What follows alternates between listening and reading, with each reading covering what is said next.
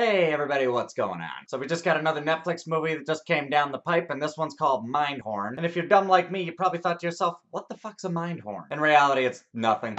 Just the main character's name, you know, kind of. And the main character is basically a down on his luck actor who used to be on this kind of like Knight Rider, Six Million Dollar Man, some type of whatever uh, kind of TV show. That kind of campy thing from like the 70s or 80s or some fucking decade like that. And he had everything. He had the money, the fame, he had the hot girlfriend. Fast forward to now, he's got nothing. Nobody really gives a shit about him. But then a murder takes place, and the person who allegedly committed the murder wants to talk to Mindhorn, the fictional character that he used to play. And it kind of brings him back into that old world. He kind of sees how, how, you know, way more more successful as old co-stars used to be. Meanwhile, getting roped into a mystery he needs to solve, which kind of resembles the TV show that he used to star on. A bunch of shit happens, and then that's basically the movie. Now, lately, Netflix really hasn't done that great in the comedy department. However, I have to say, I was pleasantly surprised. And the easiest way to describe this movie is, you know those friends that you have that are just for some reason really good at puns? Your friend will make kind of like a joke or like a pun or something like that, and it'll take you two seconds to figure it out, and then you're just like, I see what you did there. All right. Because puns are basically plays on words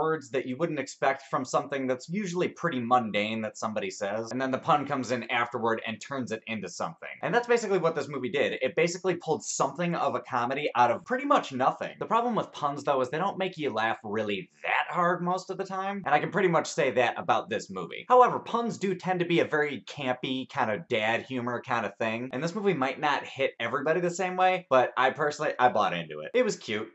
Honestly, it was a it was a valid attempt and it was not a waste of time. If anybody asked me how it was, I would say, you know what, it's not bad. Artistically, is it really anything spectacular?